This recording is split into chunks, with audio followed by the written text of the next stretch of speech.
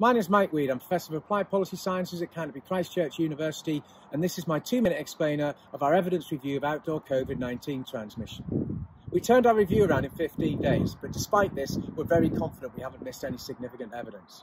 We looked at collected evidence from more than 25,000 cases, the impact of time spent outdoors, and what happens at mass gatherings like football matches, concerts, and protests, and we found very few examples of outdoor transmission. Much of the evidence comes from pre-lockdown, before social distancing. This means we're confident there's a low risk outdoors during everyday life because people tend to naturally distance, maintain personal space, and spread out a bit more outdoors.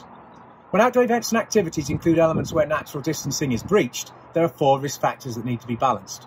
No one is a killer risk, equally no factor is a magic bullet.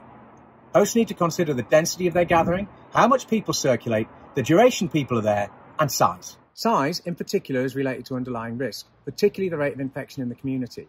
The magnitude of this underlying risk is another key consideration. When we looked at mass gatherings, we found the behaviours they prompt, communal travel, gathering indoors in bars or cafes, or collective overnight stays, were as much of a risk as the event itself.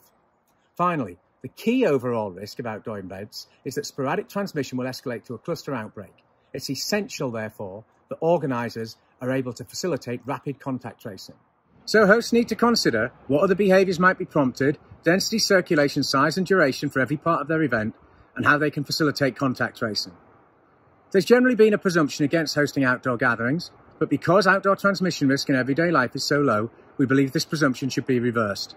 Our conclusion is that in many sectors and for many sizes and formats, it should be possible to put appropriate evidence-based mitigations in place to deliver outdoor events and activities in a way that doesn't escalate the risk from sporadic transmission to cluster outbreaks.